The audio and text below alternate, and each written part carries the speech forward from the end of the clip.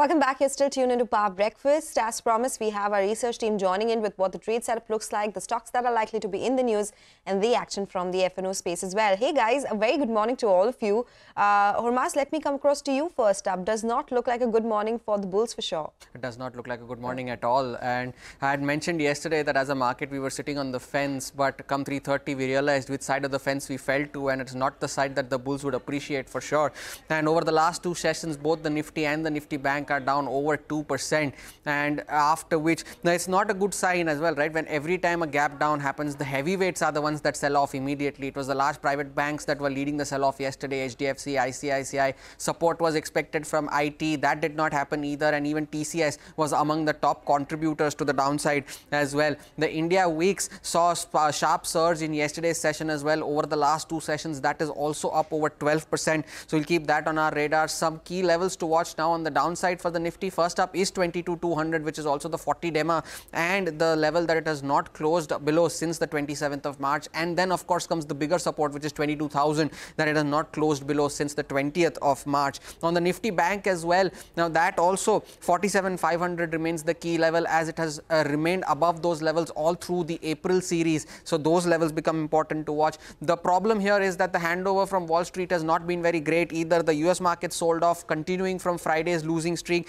the S&P 500 and the Nasdaq both broke below their 50-day moving average. The CBOE VIX also climbed to the highest level of 2024. The Treasury yields are at 4.6%, and of course, the tensions in the Middle East continue to persist. You keep an eye out for gold prices as well. Crude prices are higher this morning. Metal stocks continue to remain on the radar, and of course, today being the weekly expiry of the Nifty Bank as well as the Financial Services Index, since tomorrow is a holiday. The Asian markets are trading lower, and the GIFT Nifty is indicating a 180 point downtake as we speak, almost 200 points now, a gap down start for sure.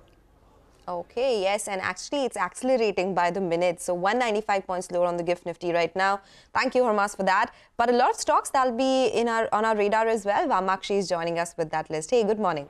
Well, good morning, Sona. Let me first start off with Cipla, and that is because its arm Cipla Health will be buying Ivia Beauty's cosmetics and personal care business for 240 crores. SPARC uh, held a con call yesterday, and they say that they will be looking at portfolio to prioritize assets. They are in the process of reinstating business development activity on CML for vodobatinib, and they have a cash balance of nearly 20 million dollars and will not be looking at equity raising currently. GTPL Hathway reported a good set of numbers. Margins were, however, under pressure uh, almost by 70 basis points, mainly on account of higher pay channel cost as well as other expenses. But on the other hand, the company reported a net profit of almost 16 crores as compared to a net loss of 11 crores. Keep in mind the net loss last year was on account of exceptional items.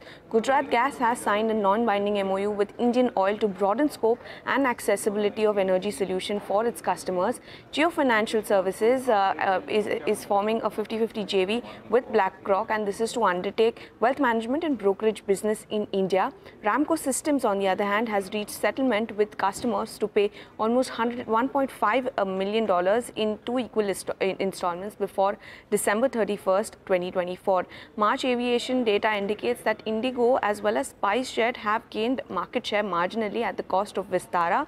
Uh, Trill has received uh, a, a, withdraw stop deal from Getco uh, with immediate effect and Happy Forging has received an order from leading global tier 1 manufacturer of automobile driveline components for almost 500 crores over the entire period of the contract. Okay, so Trill here is transformers, rectifiers. Uh, so that's the stock uh, she's talking about. Thank you so much, Vamakshi, for that. Uh, let's talk about all the F&O. Uh, is joining us now. Hey, Mangalam, morning. Well, it was a weak day of trade yesterday, no two ways about that. The recovery was sold into. The market ended virtually at the low point of trade. And in doing so, what has happened was the Nifty Bank was underperforming as was the mid-cap index. Now, with the GIFT Nifty indicating a sharp cut, just uh, look at a couple of levels. Yesterday's close on the Nifty was virtually at the 20-day moving average, 22,284. And chances are that we open at the 50-day moving average, so whether there will be a recovery from the lows and will that recovery be sold into and will we see another recovery is something that we'll watch out for. Cash market flows, uh, nothing too heartening out there. The FIs have sold another 3,300 crores, but importantly in index futures for the second day running, the FIs have sold 3850 crores. So for two days, the FIs have sold nearly 6,000 crores in the index futures. And as a result of which, yesterday we saw long positions being unwound to the tune of 20,000 contracts and short positions being added to the tune of 19,000 contracts. And the FIs were net long for the last three, four trading sessions are now back again turned net short. So if you take a look at the long exposure of the FIs in three trading sessions, down from 59% to 49%, and net contracts up from, uh, rather down from 51,000 positive contracts, long contracts, to 5,000 negative contracts on a net basis.